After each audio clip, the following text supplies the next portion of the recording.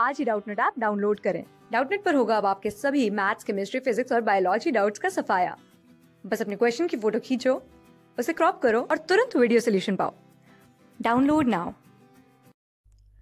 यहाँ पे क्वेश्चन में पूछ रहा है examples of tissues that are form by redifferentiation are यहाँ पे हमें एग्जाम्पल्स बताने हैं जो कि फॉर्म होते हैं after redifferentiation okay so basically जब जो हमारे पास मेरिस्टेम्स होते हैं, जो मेरिस्टेम के सेल्स होते हैं, उनमें डिवीज़न होगा ओके उनके डिवीज़न के बाद जो सेल्स का फॉर्मेशन हुआ है, उसके फॉर्मेशन के बाद जो सेल्स बने हैं, वो डिफ्रेंशिएट हो जाएँगे एंड देन वो मेच्योर हो जाएँगे, जिसके बाद उनके जो भी फ़ंक्शंस हैं, वो परफॉर्म करने लगेंगे ओके सो so, यहाँ पे ये जो नॉर्मल प्रोसेस चल रहा है ये हमारा डिफ्रेंसीशन हो गया।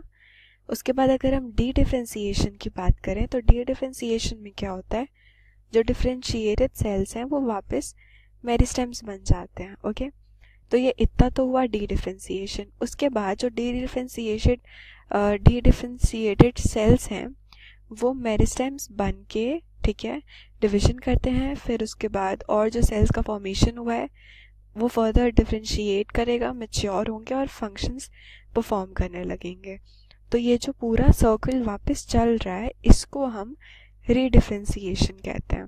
ओके सो so, इसमें अगर हम एग्जांपल्स में देखें कि कौन से ऐसे टिश्यूज़ हैं, जो एग्जांपल्स हैं रीडिफ्रेंसिएशन के तो जो हमारा सेकेंडरी साइलम है सेकेंडरी फ्लोयम है एंड कॉर्क सेल है, ये तीनों ही एग्जाम्पल्स हैं टिश्यूज़ के जो कि फॉर्म होते हैं आफ्टर रीडिफ्रेंसिएशन ओके सो यहाँ से हमारे पास आंसर आ जाएगा option D